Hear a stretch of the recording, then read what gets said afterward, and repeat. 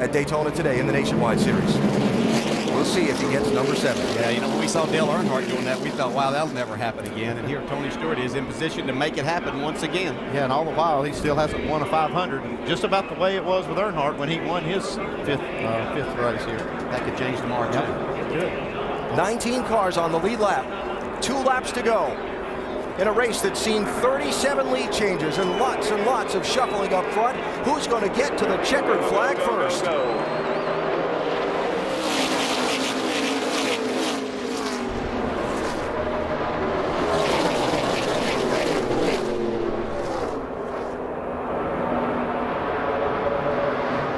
The Busch brothers get out front. Stay to him, stay to him, stay to him. Joey Logano outside lane in the 20. He's got to push in the draft. That's Trevor Bayne in the 60, the Daytona 500 defending winner. Coming back from two laps down, Trevor Bayne is. Ed Stewart boxed in for the moment. Yeah, that's the problem that they have right now. He and Elliott Sadler are tucked up, and they have nowhere to go right now. Could be clear here in just a second, though, to make that run. Yeah, you're pulling away from him a little bit. You're about three off a cut. Looks like Stewart's car. The something white wrong flag with is out. Stewart, maybe. The last lap is underway. Who gets back first if there's no accident? I think they're going to have a hard time, even though Logano has a big run, getting back Kurt and Kyle Busch right here. I don't know. Looks like they might have a run. They do. Back down, come back down, come To back block. down. Cut the other way. Half a lap to go.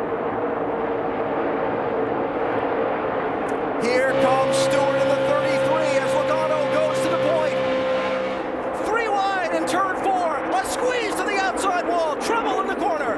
Hard, vicious crash. Who gets through to win the race? Caution flag has just been called. The race leader is James Buescher in the 30 car. Unbelievable. A heavy, heavy crash in the final corner of the race. Kyle Busch's car. Trevor Bayne.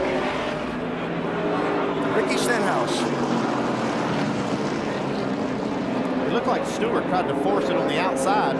Not a, not quite enough room to make it happen. Well, he had the room. I think that maybe Joey Logano moved up to try to block that progress.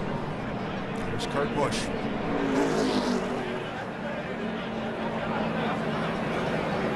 The key, the key to the moment is when the caution was officially called. NASCAR reviewing at the moment in race control. There's Tony Stewart.